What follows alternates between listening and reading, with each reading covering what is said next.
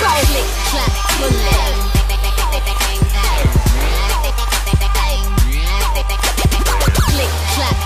In and out cinema நேர்களுக்கு வணக்கம். நான் சிற்றரசு ஃபோட்டோகிராஃபர்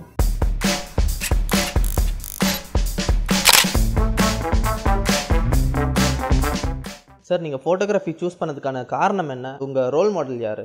ஃபோட்டோகிராஃபி வந்து சின்ன வயசுலேருந்து ரொம்ப ஆம், அப்பா கிட்ட சின்ன சின்ன கேமராலாம் இருக்கும். ஸோ அப்பா கொடுக்க மாட்டாங்க. ஸோ அவருக்கு தெரியாமல் அவரோட லாக்கரில் தப்பான கீ போட்டு இதாக திறந்து ஃப்ரெண்ட்ஸை ஃபோட்டோ எடுத்து அந்த மாதிரி தான் வந்தேன் ரோல் மாடல்னு யாருமே கிடையாது. என்னோடய என்னோட அப்பாவுக்கு ஃபோட்டோ எடுக்க தெரியும். ஸோ அவர் மூலமாக நான் கற்றுக்கிட்டேன் என்னோடய பிரதர்ஸ் எல்லாமே வந்து ஹாபியாக வச்சுருந்தேன். என்னோட பெரிய பிரதர் வந்து ஃபோட்டோகிராஃபர் ப்ரொஃபஷ்னல் ஃபோட்டோகிராஃபர் கிடையாது. நல்லா ஃபோட்டோ இது பண்ண எடுப்பாங்க. அவர்கிட்ட நான் கற்றுக்கிட்டேன் சார் சினிமாவில் ஃபோட்டோகிராஃபி எவ்வளோ முக்கியம்? சினிமாவில் ஃபோட்டோகிராஃபி அப்படின்னு பார்த்தா ரொம்பவே முக்கியம். இந்த மாதிரி பெரிய படங்களுக்கெல்லாம். மெயினாக வந்து இப்போ கொஞ்சம் இதோட முக்கியம் இப்போ கொஞ்சம் கம்மியாக இருக்குது ஆனால் முன்னாடி எல்லாம் ரொம்ப இப்போது மானிட்டர் வந்ததால் கண்டினியூட்டி எல்லாம் அதுலேயே ரீவைண்ட் பண்ணி பார்த்துக்கிறாங்க ஒரு டென் ஃபிஃப்டீன் இயர்ஸ் முன்னாடி எல்லாம் இந்த மானிட்டர்லாம் வராத டைமில் இந்த கண்டினியூட்டி இதுக்கு எல்லாமே ரொம்ப முக்கியமாக இருந்துச்சு. இன்னொன்று இந்த பெரிய படங்கள்லாம் ரிலீஸ் ஆகிறதுக்கு முன்னாடி ஃபஸ்ட் லுக் எல்லாமே வந்து நம்ம பண்ணுற ஃபோட்டோகிராஃபியில் தான் பார்த்து என்ன யார் ஆர்டிஸ்ட் எப்படி இருக்காங்க என்ன காஸ்டியூம் அப்படிலாம் இது பண்ணுறது ஸோ முன்னாடிலாம் அதை வச்சு தான் பிஸ்னஸே நடக்கும். எவ்வளோ பேர் இது பண்ணுறாங்க என்ன மாதிரி லொக்கேஷன் முன்னாடி ஆல்பம் எல்லாம் பண்ணி கொடுத்து அதை இது ப- பார்த்து தான் வந்து படம் பேசுவாங்க. இப்போது அப்படி கொஞ்சம் கம்மியாயிடுச்சு. அதாவது ஸ்டில் ஃபோட்டோகிராஃபரோட ஒர்க் வந்து ஒரு டுவெண்ட்டி இயர்ஸ் ஃபிஃப்டீன் இயர்ஸ் முன்னாடி ரொம்ப முக்கியமாக இருந்தது. இப்போ ஓகே நார்மலாக போயிட்டுருக்கு. சார் ஒரு நார்மல் ஃபோட்டோ ஷூட்டுக்கும் மூவி ஆன் ஷாட்டுக்கும் என்ன டிஃப்ரென்சஸ் அண்ட் டிஃபிகல்ட்டிஸ் இருக்குது ரொம்ப டிஃபிகல்ட்டி அது என்னென்னா ஃபோட்டோ ஷூட் பண்ணும்போது நமக்கு பொறுமையாக லைட்டிங் பண்ணி ஆர்டிஸ்டோட இன்ட்ராக்ட் பண்ணி நிறைய டைம் இருக்கும். ஆனால் இந்த மாதிரி ஆக்ஷனில் எடுக்கும்போது டைம் இருக்காது இடம் கூட இருக்காது எடுக்கிறதுக்கு. ஏன்னா சுற்றி எல்லாருமே நின்றுட்டுருப்பாங்க அந்த டைமில் நம்ம அந்த மொமெண்ட்டை கேப்சர் பண்ணணும். அதில் லோ லைட்டில் இருக்கும் லைட் இருக்காது. ஸோ நிறைய டிஃபிகல்ட்டி இருக்குது அந்த டைமில் எடுக்க எனக்கு வந்து என்னை பொறுத்த வரைக்கும் நான் நிற்க வச்சோ இல்லை இது பண்ண மாட்டேன். கேட்டு ஃபோட்டோ ஷூ ஃபோட்டோ எடுக்க மாட்டேன். ஆக்ஷனில் தான் எடுப்பேன். அதால் தான் சாருக்கு எல்லாமே பிடிக்கும். அவங்களுக்கு எப்போ எடுத்தேன் என்ன எடுத்தேன்னு தெரியாது. சின்ன சின்ன மைனூட் லுக்கெல்லாம் நான் வாட்ச் பண்ணுவேன். எனக்கு ஆக்ஷனில் எடுக்கிறது ரொம்ப பிடிக்கும். ஆக்சுவலி த்ரிஷா மேம் கூட சொல்லுவாங்க ஓ இவரை இவர் எப்போ எடுக்கிறாரு என்ன பண்ணுறான்னு தெரியாது. ஆனால் கரெக்டான டைமில் வந்து கரெக்டாக ஆக்ஷனில் இது பண்ணுவாங்க அப்படின்னு சொல்லிட்டு. எனக்கு ஆக்ஷன் ஃபோட்டோகிராஃபி ரொம்ப பிடிக்கும். ஸோ ஃபோட்டோ ஷூட் பண்ணுறது வந்து பெட்டர் ஸ்டில் பெட்டர் ரிசல்ட்டு கொடுக்கலாம். ஆனால் வந்து ஆக்ஷனில் எடுக்கும்போது தான் அதோடைய நீங்கள் ஸ்க்ரீனில் என்ன பார்க்குறீங்களோ அப்படி அஜித் சார் இப்படி பார்த்தாருன்னா அந்த அந்த அந்த ஸ்டில்லு வந்து ஆக்ஷனில் எடுக்கும்போது தான் அழகு அப்படின்னு நான் ஃபீல் பண்ணுறேன் சார் விவேகம் படத்தில் ஃப்ரீசிங் டெம்பரேச்சரில் ஒர்க் பண்ண எக்ஸ்பீரியன்ஸ் எப்படி இருந்துச்சு? எஸ் ஆக்சுவலி என்னென்னா மைனஸ் டிகிரியில் ஒர்க் பண்ணோம். நான் இங்கே ஊருக்கு வந்துட்டும் ஒரு அதாவது எல்லாருமே க்ளவுஸ் போட்டுட்டு இருப்பாங்க. ஏன்னா எல்லாருக்குமே வந்து இந்த விரல் வச்சு இது பண்ணுறது கிடையாது. எனக்கு மட்டும் இந்த விரல் க்ளவுஸ் போட்டேன்னா எனக்கு ரொம்ப திக்காக இருக்கும். கிளிக் பண்ணேன்னா இல்லையான்னு தெரியாது. ஸோ நான் வந்து க்ளவுஸ் போட மாட்டேன். ஸோ அந்த டைமில் எனக்கு நான் என்ன பண்ணுவேன்? எடுத்துகிட்டு என்னோடய கையை வந்து என்னோடய ஜாக்கெட்டில் வச்சுப்பேன். ஸோ இங்கே வந்து கூட எனக்கு வந்து அவ்வளோ வலி. ஸோ அந்த அந்த கிளைமேட்டில் ஷூட் பண்ணது ரொம்ப ரொம்ப எக்ஸ்பீரியன்ஸ் மைனூட் அந்த மைனஸ் டிகிரியில் ஒர்க் பண்ணது. ரொம்ப எக்ஸ்பீரியன்ஸ் ஆனது நான் அதை விட எல்லாருமே இது ஜ ஜ ஜக்கின் போட்டு நின்றுட்டு இருப்பாங்க அஜித் சார் வெறுமனே ஒரு கிழிஞ்ச டிஷர்ட் போட்டு அந்த ஐஸுக்குள்ளே கஷ்டப்பட்டுட்ருப்பார். ஸோ எங்களெல்லாம் விட நாங்கள் எதுவுமே இல்லை. அவர் வந்து ஹார்ட் ஒர்க் பண்ணியிருக்காங்க எங்களுக்கெல்லாம் அந்த ஸ்பாட்லேயே அழுகையாக வரும் அவர் பார்த்தா. அவர்கிட்ட சொல்லவும் முடியாது. அவர் என்ன நினைக்கிறாரோ அது பண்ணுவாங்க. ஸோ மைனஸ் டிகிரியெல்லாம் அவர் பார்க்கவே இல்லை. ரொம்ப ஹார்ட் ஒர்க் பண்ணியிருக்காங்க மனசார வந்து இந்த படம் வந்து ரொம்ப ரொம்ப வெற்றியை கொடுக்கணும் அப்படின்னு நான் வந்து கடவுள்கிட்ட வேண்டிக்கிறேன் உங்கள்கிட்டையும் வேண்டிக்கிறேன். நீங்களும் பார்த்து இந்த படத்துக்கு ஃபுல் சப்போர்ட் பண்ணணும் அப்படின்னு சொல்லிட்டு. ஏன்னா வந்து நிறைய படம் நான் பண்ணியிருக்கேன் ஆனால் இந்த மாதிரி ஒரு படம் அவர் வந்து இவ்வளோ கஷ்டப்பட்டதே கிடையாது. டே அண்ட் நைட்டுங்க டே அண்ட் நைட்டு நம்ம வந்து நடந்து போகிறதுக்கு கூட கொஞ்சம் ஃபீல் பண்ணுவோம். அவர் ஐஸில் வந்து அ- அந்த அந்த மைனஸ் டிகிரியில் வந்து பைக் ஓட்டுறதெல்லாம் நினச்சே பார்க்க முடியாது. ஸ்லிப் ஆகிடும் வேறு. So great work Ajith sir as a photographer இதை பற்றி என்ன நினைக்கிறீங்க? கிரேட் ஃபோட்டோகிராஃபர் நான் வந்து ஃப்ளூக்கில் தான் வந்தேன். வேலை எதுவும் கிடையாது. ஓகே நம்ம ஏதோ ஃபோட்டோ எடுக்கிறோமே. சரி போகலாம் அப்படின்னு சொல்லிட்டு. அவர் ஒவ்வொரு விஷயத்தையும் அதாவது குக்கிங்னாலும் சரி ஃபோட்டோகிராஃபினாலும் சரி மற்ற மற்ற எந்த விஷயமா இருந்தால் கூட அது ஏ டு இசட் படிச்சுட்டு தான் அதில் இறங்குவாங்க.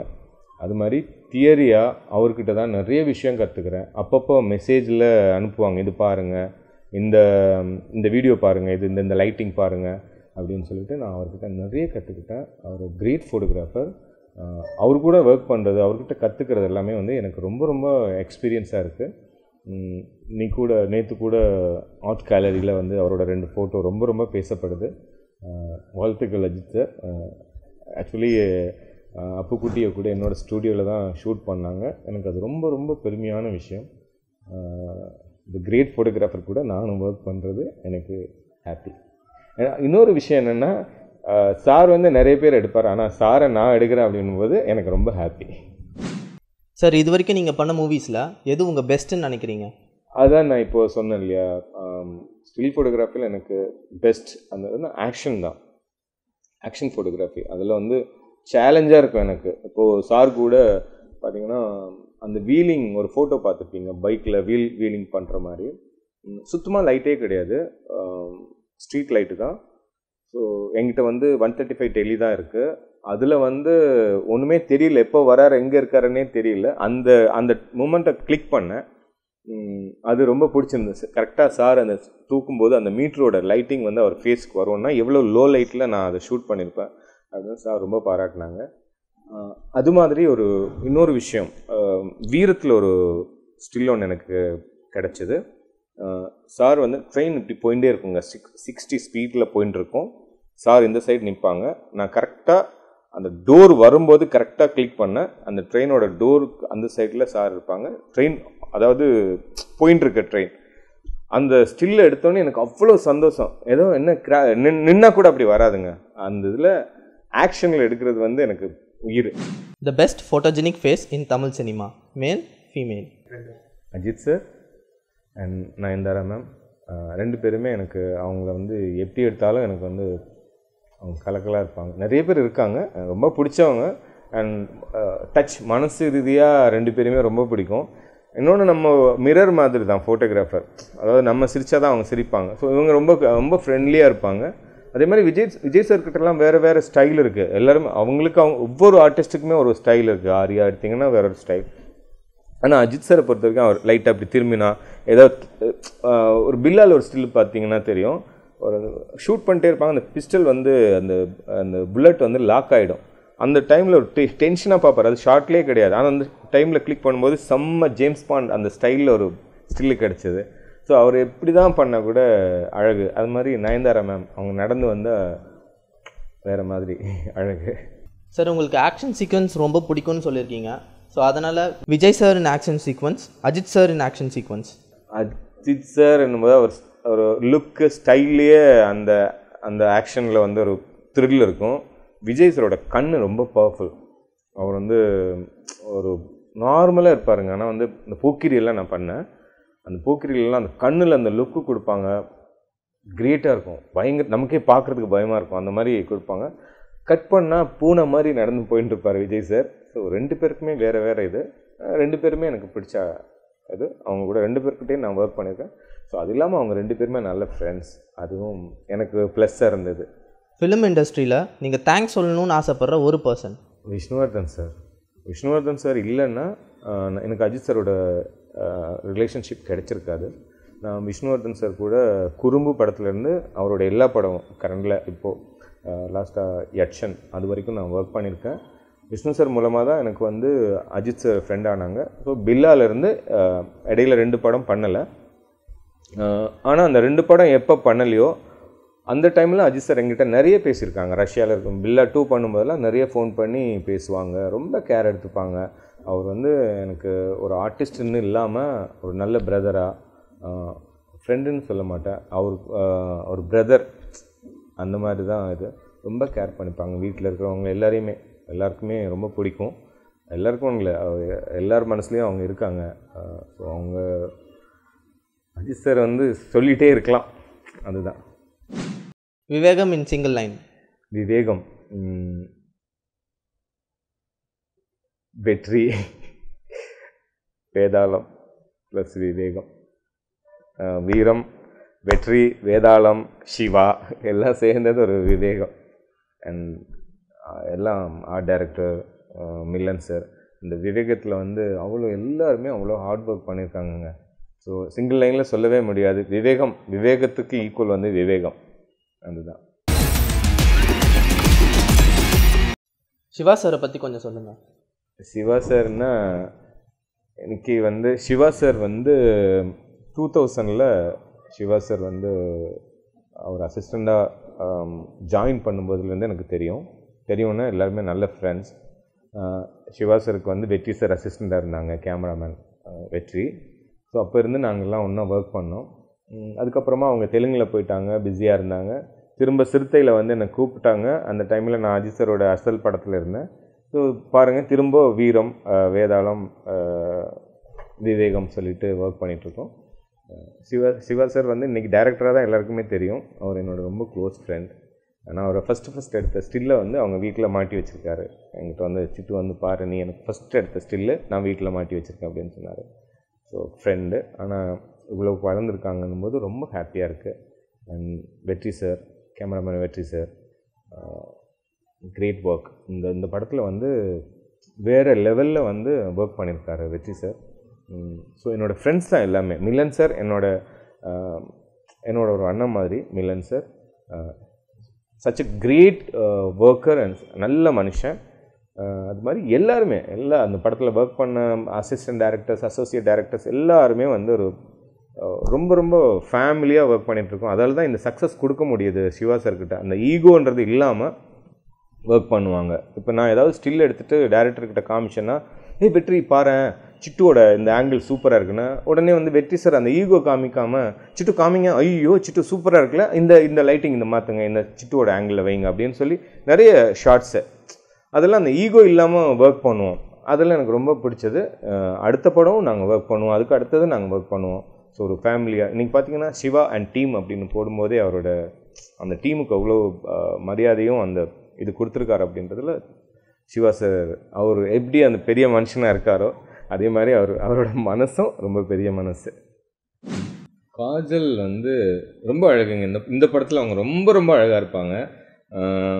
எப்படி சொல்கிறது இந்த படம் வந்து சாரோ சாரோட ஃபேன்ஸுக்கு வே தீபாவளி பொங்கல் எல்லாமே சேர்த்தா அப்படி இருக்கும்? அந்த மாதிரி ஒரு படம் இது. அதில் வந்து காஜல் அகர்வால் நிறைய படம் பண்ணியிருக்காங்க ஆனால் இது அவங்க லைஃப்பில் வேறொரு லெவலில் இருக்கும். பொண்ணுங்களுக்கும் ஃபேமிலிஸுக்கு எல்லாருக்குமே ரொம்ப பிடிச்சவங்களா இருப்பாங்க இந்த படத்துக்கு அப்புறம் காஜல். அண்ட் அக்ஷரா ஹாசன் பார்த்தீங்கன்னா ஸோ க்யூட் அண்ட் எனக்கு வந்து இந்த கமல் சார் கூடயே ஒர்க் பண்ணுற மாதிரி ஒரு ஃபீல் அவ்வளோ கேர் பண்ணு என்னங்க சாப்பிட்டீங்களா? எப்படி இருக்கீங்க? ஓகே நம்ம சொல்கிறது என்னமோ அப்படி செய்வாங்க அக்ஷரா. ஏன்னா நான் கமல் சாரோட சின்ன வயசுலேருந்து பயங்கர ஃபேன் நிறைய படங்கள் அவருக்கு ரொம்ப பிடிக்கும் அவரோட படங்கள். அவரோட அந்த வாரிசு கூட ஒர்க் பண்ணுறது ஸ்ருதி கூட ஒர்க் பண்ண. ஸ்ருதி கூட நார்மலாக என்ன படத்துக்கு என்ன தேவையோ பேசுவேன் அது இல்லாமல் அக்ஷரா வந்து நம்ம கூட ஒரு ஃப்ரெண்டாக அவங்க டேரக்டராக இருக்காங்க நிறைய ஷார்ட் ஃபிலிம் பண்ணியிருக்காங்க நிறைய அட்வர்டைஸ்மெண்ட் ஃபிலிம் பண்ணியிருக்காங்க அவங்களுக்கு ஒரு ஆர்டிஸ்டாக இருக்கிறத விட டேரக்டராக இருக்கிறது தான் அவங்களுக்கு ரொம்ப பிடிக்கும். துரு துரு துரு துருன்னு இருப்பாங்க. அவங்க கால் சும்மா நிற்காது அப்படியே ஆடிட்டே இருப்பாங்க. ரொம்ப க்யூட் அவங்க கண் ரொம்ப அழகு.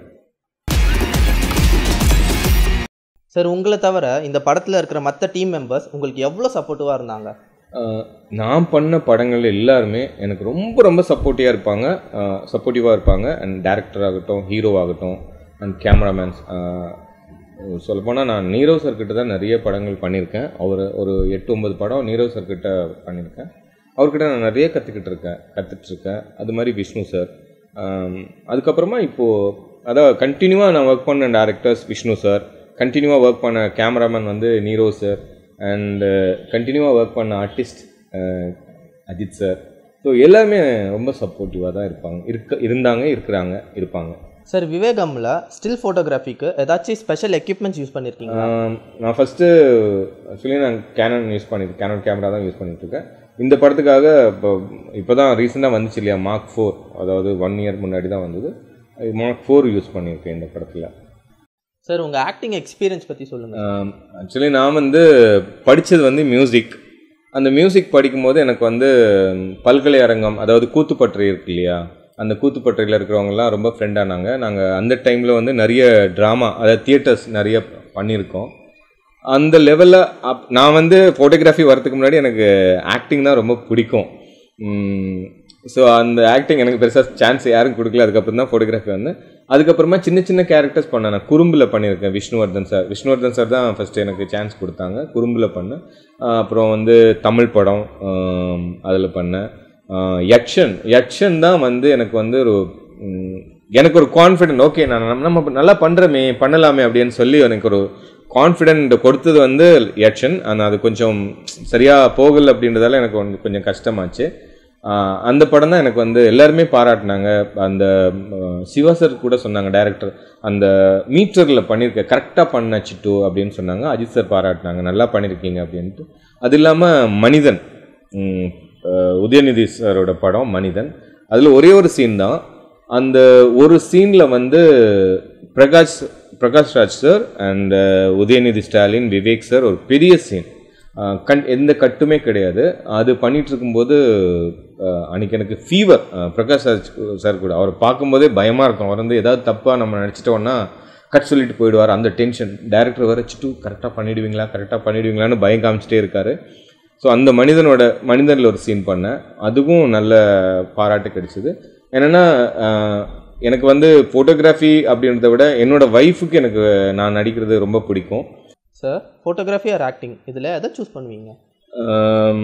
ஆக்டிங் அண்ட் ஃபோட்டோகிராஃபின்னா ரெண்டுமே. எனக்கு ஃபோட்டோகிராஃபி வந்து எனக்கு எனக்கு இவ்வளோ இந்த தூரத்தில் இவ்வளோ வரைக்கும் நீங்கள் இன்றைக்கி வந்து என்னை பேட்டி எடுக்கிற லெவலில் வந்து என்னை கொண்டு விட்டுருக்குன்னா எனக்கு என்னோட ஃபோட்டோகிராஃபி தான். அதை நான் எப்போவுமே விட மாட்டேன். அதுபடி இது எனக்கு ஆக்டிங்னும் போது எனக்கு ரொம்ப பிடிக்கும் பிடிச்சது. அதால் அது கிடைச்சதுன்னா நிச்சயமாக நான் பண்ணுவேன். என்னோ என்ன எனக்கு ஏற்ற ரோல் எனக்கு எனக்கு என்ன பண்ண முடியுமோ அது மாதிரி ஏதாவது கேரக்டர் கொடுத்தாங்கன்னா நிச்சயமாக நான் பண்ணுவேன். எந்த ஆக்டரோட உங்களை ரிலேட் பண்ணுவீங்க? அப்படிலாம் நான் யாரையும் காப்பி அடிக்கிறது இல்லை எனக்கு தெரியாது. அது மாதிரி ஃபோட்டோகிராஃபி கூட நீங்கள் கேட்டிங்கல்ல யார் ரோல் மாடல்னு அப்படி எல்லாமே இல்லை. நானே என்ன இது பண்ணிப்பேன்.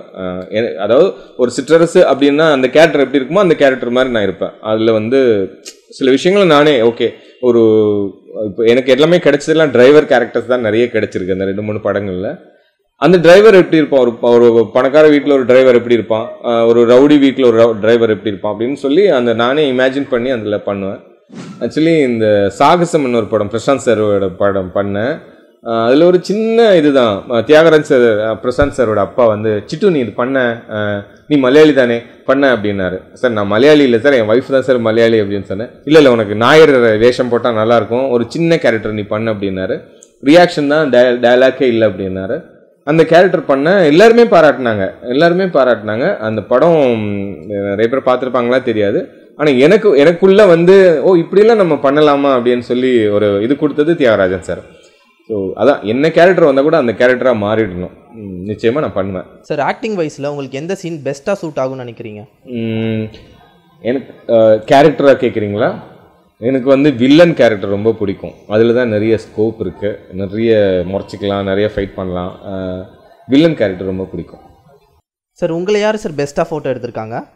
அஜித் சார் ஆக்சுவலி இந்த வீட்டில் நான் மாட்டியிருக்கேன். அவர் எனக்கு எப்பயாவது எடுப்பாங்க எப்போ எடுக்கிறாங்கன்னு தெரியாது. எடுத்துட்டு ஒரு வாட்டி கூப்பிட்டாங்க வீட்டில் இது வச்சுக்கோங்க twenty twenty four twenty thirty சைஸில் போட்டு கீழே லவ் அஜித் குமார் அப்படின்னு சொல்லிட்டு எனக்கு கிஃப்ட்டு அந்த ஃபோட்டோ கொடுத்தாங்க. என்ன எப்போவுமே பில்லாலேருந்து கூட என்னை வந்து கேமரா வாங்கி நீங்கள் அங்கே நில்லுங்க இங்கே நில்லுங்க. நீங்கள் எல்லாரையுமே ஃபோட்டோ எடுக்கிறீங்க. உங்களுக்கு ஏதாவது ஃபாரின் போனால் உங்களுக்கு எல்லாம் ஸ்டில்ஸ் வேணும் அப்படின்னு சொல்லிட்டு என்னை வந்து டேரக்டர் கிட்ட நிற்கிற மாதிரி மற்ற மற்ற ஆர்டிஸ்ட் கிட்ட நிற்கிற மாதிரி அஜித் சார் எடுத்து கொடுப்பாங்க ஒர்க்கிங் ஸ்டில்ஸ் அவர் வந்து கிரேட்டுங்க சூப்பர் அவர். அதான். Sir positive and negative of photography நீங்கள் இதை வந்து ஃபோட்டோகிராஃபியை வந்து ஹாபியாக வச்சிங்கன்னா ரொம்பவே ரசிக்கலாம் என்ஜாய் பண்ணலாம். ப்ரொஃபஷனலாக இருந்துச்சுன்னா கொஞ்சம் ஸ்ட்ரகிள் பண்ணணும். ஏன்னா இப்போ வந்து ஃபோட்டோகிராஃபருக்கு பெருசாக பே கிடையாது பே பண்ணுறது இல்லை நாங்கள் வந்து டைம் வேறு இப்போது எல்லாருக்கிட்டையுமே கேமரா இருக்குது மொபைல்லே நல்ல ஸ்டில்ஸ் எடுக்கிறாங்க. ஸோ ஃபோட்டோகிராஃபரோட ஃபோட்டோகிராஃபி வளர்ந்துருக்கு. ஃபோட்டோகிராஃபர்ஸ் வந்து கொஞ்சம் டவுனில் தான் போயின்னு இருக்காங்க ஸோ ரெண்டுமே இருக்குது ஹாபியாக இருந்தால் இதை என்ஜாய் பண்ணலாம். இந்த ஃபோட்டோகிராஃபி என்ஜாய் பண்ணலாம். எடுத்து நீங்கள் ஒரு குழந்தையோ ஒருத்தங்களை காமிக்கும்போது அது வேறொரு அவங்க உங்களை பாராட்டும் போது அதோடைய அந்த லெவலே வேறு. ஆனால் நீங்கள் என்ன தான் ஒர்க் பண்ணிவிட்டு உங்களுக்கு வந்து மணி கிடைக்கலன்னா அந்த டல்லாகி போவோம்ல அது வந்து ரெண்டும் பாராட்டும் இருக்கும் டிஸ்போ டிசப்பாயின்மெண்ட்டும் இருக்கும். சார் நிறைய அப்கமிங் ஃபோட்டோகிராஃபர்ஸ் நம்ம சேனலில் பார்த்துட்டு இருக்காங்க அவங்களுக்கு நீங்கள் என்ன சொல்ல விரும்புறீங்க? ஆக்சுவலி நான் வந்து ஃபிலிம் ரோலில் கற்றுக்கிட்டு அப்புறமா டிஜிட்டலில் வந்தேன். என்னை பொறுத்த வரைக்கும் பெருசாக தியரியாக எனக்கு வந்து டிஜிட்டல் டிஜிட்டல் எக்ஸ்பீரியன்ஸ் பெருசாக இல்லை. நான் கற்றுக்கு நான் என்ன ஃபிலிம் ரோலில் கற்றுக்கிட்டனோ அந்த தியரியை வச்சு தான் நான் டிஜிட்டலில் பண்ணிகிட்ருக்கேன் ஆனால் இன்றைக்கி இருக்கிற பசங்களுக்கு வந்து நிறைய எக்ஸ்போஷர் கிடைக்குது. யூடியூப்பில் நீங்கள் உடனே என்ன டவுட் போனீங்களா? கேமரா என்ன ப்ராப்ளம் போனீங்கனாலே யூடியூப்பில் பார்த்துக்கலாம். நெட்டில் பார்த்துக்கலாம். ஒரு எரர் வந்துச்சுன்னா எதுக்காக எரர் வருதுன்னு படித்த பசங்களுக்கு ரொம்ப ஈஸியாக இருக்குது ஆனால் அதெல்லாம் விட ஸ்பாட்டில் ஒர்க் பண்ணுற ஒரு விஷயம் இருக்குது அது நீங்கள் என்ன தான் படித்தா கூட ஸ்பாட் ஒர்க்கிங் வந்து தனி. அங்கே வந்து சாஃப்டாக இருக்கணும். யாரையும் முறைச்சிக்க கூடாது பொறுமையாக ஒர்க் பண்ணணும். அண்ட் வாட்ச் பண்ணிகிட்டே இருக்கணும் நீங்கள் ஒரு நீங்கள் அங்கே பக்கத்தில் பார்த்துட்டு இங்கே இது பண்ணிங்கன்னா ஒரு பெரிய ஒரு ஆக்ஷன் உங்களுக்கு மிஸ் ஆகிருக்கும் ஸோ நம்மளுடைய கான்சன்ட்ரேஷன் வந்து கேமராவில் மட்டும்தான் இருக்கணும். அந்த என்ன பண்ண போகிறோம் அது மட்டும்தான் இது. அப்போது நீங்கள் நிறைய ரிசல்ட் சூப்பர் ரிசல்ட் கொடுக்கலாம். ஸோ என்ன தான் இது பண்ணால் கூட உங்களோட கவனம் ஃபுல்லாக உங்கள் ஒர்க்கில் இருக்கணும். மற்றபடி உங்களுக்கு இப்போ இருக்கிற பசங்களுக்கு அவங்கக்கிட்டேருந்து நம்ம கற்றுக்க வேண்டியிருக்கு நிறைய. ஏன்னா அவங்களுக்கு தியரியாக நிறைய தெரியும். ஆனால் என்னதான் தியரி தெரிஞ்சாலும் கேமரா கொடுத்து நீங்கள் எடுக்கும்போது உங்களோட வந்து ஃபுல் பவர் நீங்கள் ஒரு மூச்சு கூட விடாமல் நீங்கள் இருந்தால் மட்டும்தான் அந்த ஸ்டில் எடுக்கும். ஜஸ்ட்டு மூச்சு விட்டால் நீங்கள் ரிலாக்ஸ் பண்ணாலே அந்த ஒரு ஆக்ஷன் மிஸ் ஆகிடும் இன் அண்ட் அவுட் சினிமா நேர்களுக்கு நீங்கள் இப்போது இது வந்து வளர்ந்து வர சேனல் ஸோ நீங்கள் இந்த சேனலுக்கு நிறைய சப்போர்ட் பண்ணணும். மற்ற மற்ற சேனல் போல் உங்களும் வந்து ஒரு பெரிய லெவலில் வரணும். திரும்பவும் வந்து எங்களை மாதிரி அவங்க பேட்டி எடுப்பாங்களா அப்படின்ற ஆவலில் நாங்கள் இருக்கணும். அந்த லெவலில் நீங்கள் கொண்டு போங்க இந்த இந்த சேனலை தேங்க்யூ ஸோ மச்